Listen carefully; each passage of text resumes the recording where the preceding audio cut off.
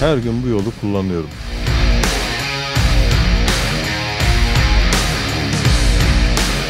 Bu yol olmazsa olmazımızdı bizim. Trafik yoğunluğundaki sorunları bir bir çözen Antalya Büyükşehir Belediyesi geçtiğimiz yıl Antalya'ya üniversitenin yan yolundaki yeni caddeyi kazandırmıştı. Trafik için nasıl bir avantaj sağladı onu da vatandaşlar anlatsın. Bayağı rahatlattı bizi. Biz taksiciler olarak Uncalı'ya rahat giriyoruz. Bu yol trafiği gerçekten azaltıyor. Konya altında yaşayan biri olarak bu yol bizi gayet iyi rahatlattı. Şehirden gelirken daha çok kullanıyorum. Kestirme oluyor. Güzel. Çok da güzel yapıldı yani yol.